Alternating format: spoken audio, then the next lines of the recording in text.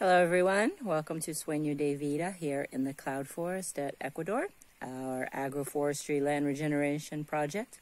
Today I'm going to talk a little bit about water management and uh, how to get some ideas to better manage water on your property. So even though we are here in a very rainy climate in the cloud forest and the subtropics, uh, the things I'm saying could pretty much apply to anywhere except a desert, anywhere where you have some rain.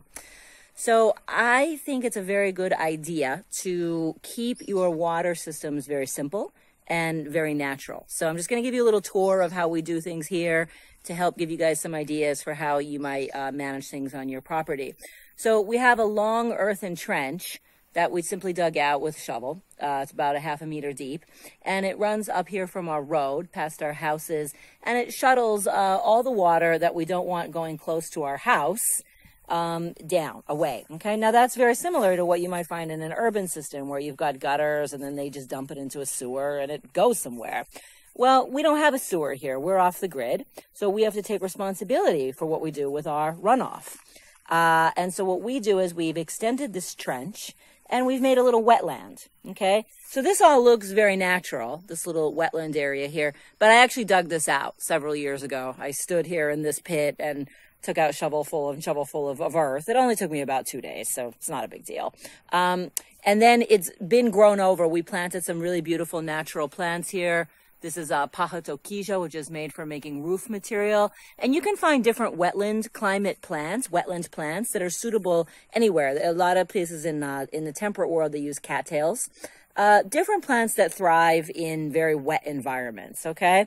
So that's all you need to do is just basically dig out a, a hole, right?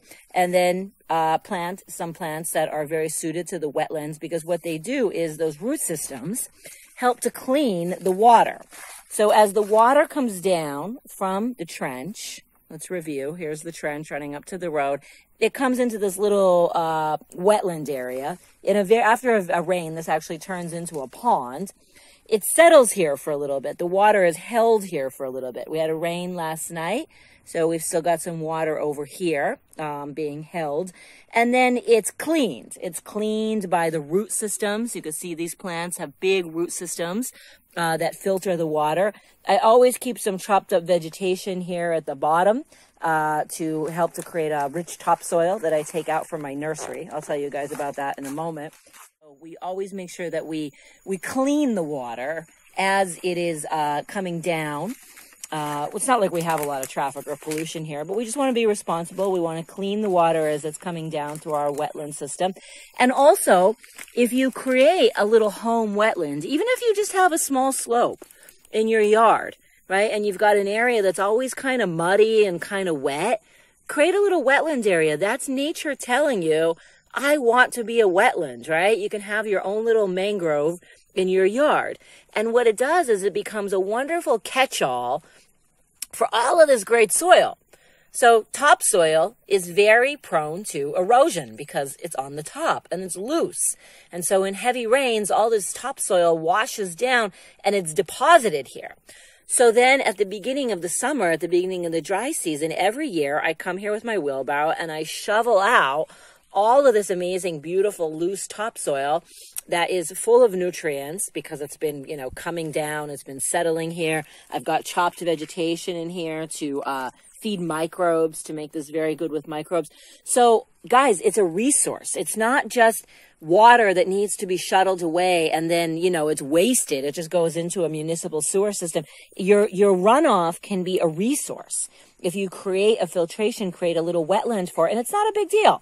Like I said, dig a hole, plant some plants. You can put rocks around it. You can make it as pretty as you want, but turn your wastewater or your runoff water into a resource. Catch it, conserve it, and then more than anything, come back later and get this soil. Put it in your containers. Look how beautiful it is. Put it in your garden. Yeah, it's great stuff. Okay. So that's a very simple method, right? Just simply digging a trench keeping it natural. We clean the grass out every once in a while.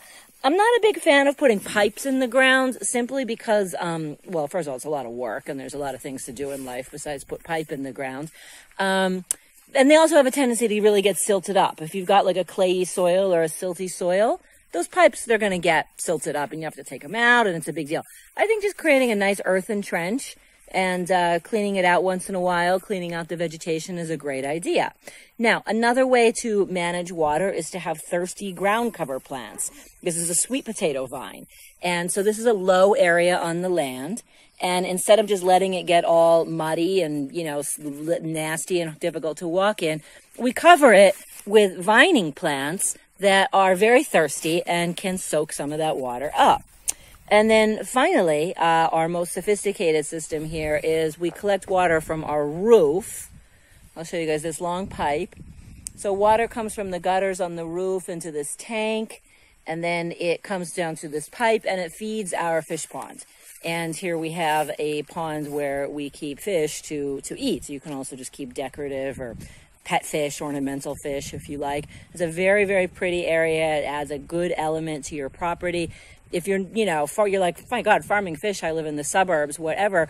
Well, just creating a bird bath or a fountain or a, a, catchment system for water that then you can then use on your garden instead of always tapping the municipal system is also a great idea. So I'm not here to tell you that you, you know, need to create a big wetlands with plants or that you need to have a fish pond. What I want to do is inspire you with uh, the ideas and the inspiration to do something with water. Maybe it's just simply something very simple where you have a gutter position to empty into a rain barrel and then that's the water you use to irrigate your garden instead of taking it from a hose, yeah? Be careful. I know there's some really nasty housing authority associations out there that don't want you saving water from your roof. God knows why. Um, so, you know, you might have to pirate it. You might have to just, just don't tell anybody. That's all you have to do. I mean, you know, you probably have a fence, right? And if your neighbors are being nosy and peeking over your fence, well, then they're trespassing. Yeah? So don't be intimidated. Collect water. Do something good with water. Don't just treat it as like a waste because water is very precious. And figure out a way to work with the slope, the gravity, the forces on your land, the natural forces in your land to channel water in ways that work for you. But the point is is that water is precious. Collect it, conserve it, clean it, use it. Don't let it go to waste.